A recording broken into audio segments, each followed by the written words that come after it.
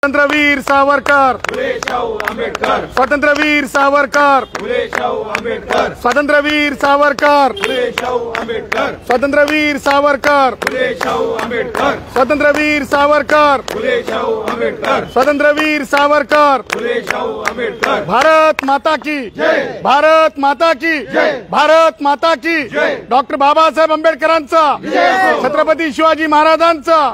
असो. गणपती बाप्पा. मोरया. गणपती बाप्पा. मोरया. गणपती बाप्पा. मोरया. जय श्रीराम जय श्रीराम. जय श्रीराम जय श्रीराम. जय श्रीराम जय श्रीराम. जय श्रीराम जय श्रीराम. जय श्रीराम जय श्रीराम. जय श्रीराम जय श्रीराम.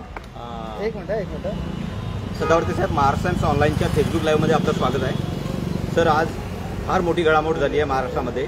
परिवहन मंत्री आणि शिवसेनेचे ज्येष्ठ नेते अनिल परब यांच्यावरती जवळपास सात ठिकाणी ईडीची कारवाई झालेली आहे. ईडीची धाड पडलेली आहे. पहिली प्रतिक्रिया. प्रतिक्रिया. प्रतिक्रिया देताना सामान्यपणे मराठीमध्ये एक मन आहे ती म्हण अगोदर म्हणतो ढवळ्या संघ पवळा गेला वान नाही पण गुण आला. लक्षात घ्या हे म्हणण्यामागचं एक धोरण आहे एक कारण आहे. लवासा सिंचन आदर्श.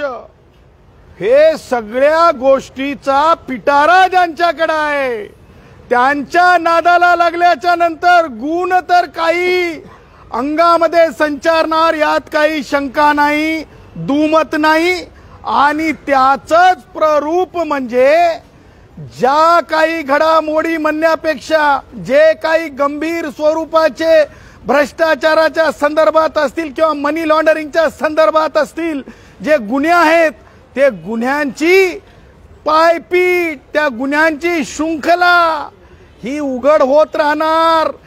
ज्या कष्टकरी एस टी महामंडळातील बांधवांना काही कोटी रुपये फक्त सरकारवर बुर्दंड होतं परंतु शासन सेवेत नको आणि दिशाभुलीच्या गोष्टी चळवळीला रंग हल्ल्याचं हे सगळ्या गोष्टी केल्या आणि आज महाराष्ट्राला देशाला जय श्रीराम म्हणणाऱ्या हिंदुस्थानला खरं रूप दिसला असेल. हे कुठून आला पैसा? या पैशाचा हिशोब काय? आज ताठ मानेने उभं राहून दिलं पाहिजे. दोघांनी दिलं पाहिजे. ज्या सरकार मधले जे दोन प्रमुख गट आहेत कारण राष्ट्रवादी काँग्रेसचे वयवृद्ध पुढारी शरद पवार यांनी सुद्धा आज बोललं पाहिजे. कारण या सगळ्या याची अगोदर शृंखला जे मी अगोदर वाचून दाखवली ती त्यांच्या म्हणजे म, जिल्हा बँका असतील किंवा सिंचनाच्या संदर्भातल्या चर्चा असतील किंवा लावासाच्या संदर्भातल्या चर्चा असतील त्या पिटाऱ्यातून ह्या पिटाऱ्याची चर्चा सुरुवात झालेली आहे. त्यामुळं मला असं म्हणायचं आहे आज जे होत आहे हे घडामोड आणि घट हे घ- घटना नसून ही परत आज ईडी कार्यालयात जाणार आहेत. आणि त्या एका बँकेच्या संदर्भानं मोठी पोलखोल करणार आहेत ज्याच्यामध्ये महाराष्ट्राला देशाला समजून जाईल की कशा प्रकारे मिसयूज ऑफ पॉवर आणि कशा प्रकारे लोकांनाच माहीत नाही त्यांच्या खात्यावर पैसे कसे आले. असा एक मोठा मोठी गोष्ट मी आता त्यावर जास्त बोलणार नाही. परंतु ईडीच्या कार्यालयात आज डॉक्टर जयश्री पाटील एक मोठी तक्रार घेऊन संध्याकाळी जाणार आहेत. आणि त्यानंतर समजेल महाराष्ट्राला की काय आहे यांची वस्तुस्थिती आणि काय नाही. कष्टकऱ्यांच्या बाबतीमध्ये पंधराशे कोटी रुपये जर विलिनीकरणाचा खर्च येणार होता त्या संदर्भात कष्टकऱ्यांना नाकारलं. परंतु आज मात्र त्याच कष्टकऱ्यांचा हळहळ असेल तळतळ असेल किंवा त्या पलीकडे जाऊन कर्माचे फळ असतील हे आज दिसत आहेत. अहो आम्ही तर भारत माता की जय म्हणत जेलमध्ये जात होतो आम्ही पोलीस कस्टडीमध्ये जात होतो मात्र आज वेळ तुमच्यावर आली. बघा नेचर एवढूशा फटीतून माध्यमांमध्ये तुम्ही दिसत आहात. ही वेळ तुमच्यावर आलेली आहे. हे तुमच्या कर्माचे फळ आहेत. आणि मला असं म्हणायचंय परत एकदा की ढवळ्या संघ पवळा गेला. वान नाही म्हणून गुणालाही ही मराठी म्हण आहे. आणि म्हणून आता ह्याच्या पुढचे गुण नको असतील तरी सुबे का भुला शाम घर लाटा येतो उसे भुला नाही कहते अशी संगत सोडावी असं मी आपल्या माध्यमातून जे चळवळीतले शिवसैनिक आहेत मला माहीत आहे ते शिव चळवळीतले शिवसैनिक कधी सुद्धा या अशा वर्तनाला माफ करणार नाहीत. आणि म्हणून म्हणतो की ही कष्टकऱ्यांच्या जीवनातलं एक मोठं यश आहे. सदावर्ती साहेब या प्रकरणी अनिल परबांवरती मनी लॉन्ड्रिंगचा केस पण दाखल झालेला आहे. मी काय सांगितलं? कर्माचे फळ आहेत. मुख्यमंत्री उद्धव आम्ही वारंवार सांगत होतो की चांगल्या एखाद्या सक्षम शिवसैनिकाला तुम्ही त्या ट्रान्सपोर्ट मिनिस्ट्री पदावर बसवा. एकशे चोवीस जीव गेले तरी ज्यांना दया येत नव्हती त्याच्यावरून समजून घ्यायचं होतं की त्यांची आसक्ती काय मनी लॉन्ड्रिंग मनी मनी मनी मनी मनी मनी मनी मनी मनी ही त्यांची आसक्ती आहे. आणि त्या आसक्तीपासून त्यांना दूर करा.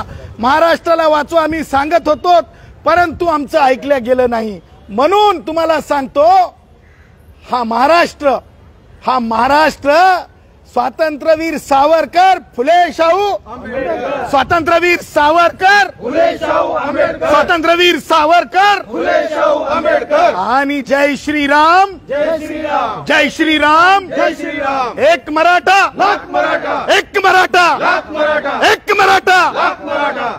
मुख्यमंत्री उद्धव तुम भी सुनो एक मराठा। मराठा मुख्यमंत्री उद्धव तुम भी सुनो एक मराठा। अजित पवार तुम भी सुनो एक मराठा। एक मराठा। जय श्रीराम। जय त्यामुळं ही जय श्रीरामाची ताकद आहे. भारताच्या संविधानातली ताकद आहे. या ताकदीपुढे सगळ्यांना नामो हरम लागतंय. आणि ही कष्टकऱ्यांचा मोठी जीत आहे असं मी म्हणतो. सुरुवातीला अनिल देशमुख नंतर नवाब मलिक आणि आता अनिल परब. एक लक्षात ठेवा. हे नेचर आणि भारताच्या संविधानाची ताकद आहे. आणि भारताच्या संविधानासमोर वल्गना चलत नसतात. कायदेशीर बाबी टिकत असतात. आणि तुम्ही जसं मगाशी दोन नावं घेतले पहिलं नाव कोण होतं? तर अनिल देशमुख डॉक्टर जयश्री पाटलांची तक्रार.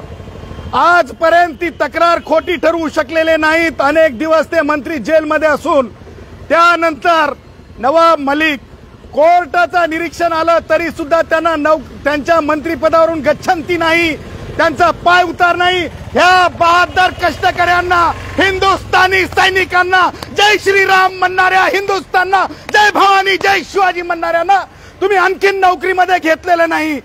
ही आहे तुमची तुमचं वर्तन आणि त्यामुळं नेचर तुम्हाला शिकवत आहे आणि आता नंबर हा आज आलेला नाही. ऍडव्होकेट डॉक्टर जयश्री पाटील अनिल देशमुखांच्या केस पासून सांगत होत्या. आम्ही आझाद मैदानातून सांगत होतो की ह्या वर्तनावर अनिल परबांच्या बाबतीमध्ये तुम्ही चर्चा करा मुख्यमंत्री उद्धव आणि निर्णय करा. अन्यथा हे दिवस आज मुख्यमंत्री उद्धव यांच्या आयुष्यात आला नसता. सामान्य शिवसैनिकाच्या जीवनामध्ये आजचा दिवस आला नसता. आणि शृंखला वाढेल याच्यात मला शंका नाही. अनिल परबांची जेलवारी पक्की समजायची का? बोला जैसी करनी वैसी भरनी। अरे जैसी करनी वैसी भरनी। अरे जैसी करनी अरे जैसी करनी। वैसी भरणी. अरे जैसी करनी। वैसी भरणी. त्यामुळं ज्याची जशी करणी त्याची तशी भरणी त्यामुळं जे काही होतंय ते योग्य होतंय संविधानिक होतंय. आणि खरोखर आज एस टी महामंडळातील कष्टकऱ्यांनी मला वाटतंय ते म्हणजे काय त्यांनी खरं तर कुणाच्या आयुष्यामध्ये म्हणजे सुख दुःख असतात परंतु या देशाला ज्यांनी भ्रष्टाचारापासून मनी लॉन्ड्रिंगपासून पोखरायला सुरुवात केली आणि तशातून कोणीतरी म्हणजे म, पकडला जात आहे आणि त्या निमित्तानं हे कष्टकरी एकत्रित आलेत. लाडू वाटप कसले आहेत पण? हे तर लाडू जे योग्य होत आहे त्याच्यासाठीचे आहेत. कारण आम्ही जेलमध्ये जाताना भारत माता की जय म्हणत होतो आणि आज कोणीतरी मनी लॉन्ड्रिंगच्या केसमध्ये जेव्हा गुन्हा दाखल होते तेव्हा ते फटीतून दिसतात फटीतून. फटीतून दि- कसे दिसतात रे दाखवा. फटीतून दिसतात फटीतून दिसतात. अभिनंदन साहेब. वंदे. वंदे. मातरम. वंदे. मातरम. घ्या या.